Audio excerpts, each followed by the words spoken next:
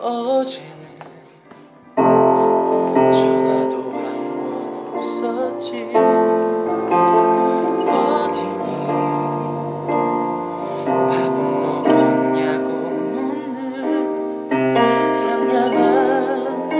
말 기다렸는데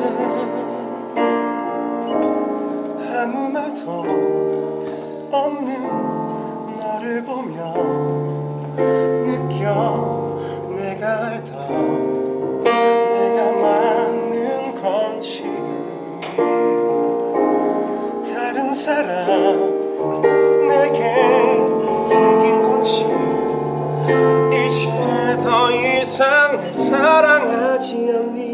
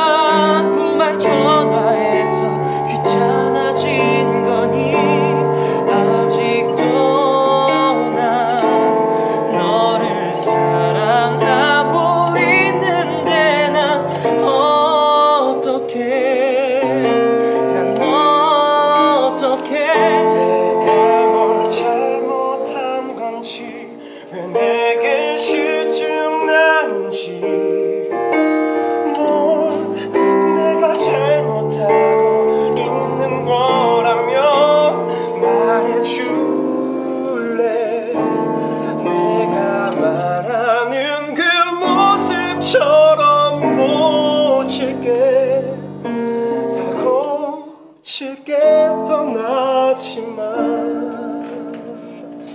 아, 아, 여러분들 박수 치고 계시죠 지금? 네 마음속으로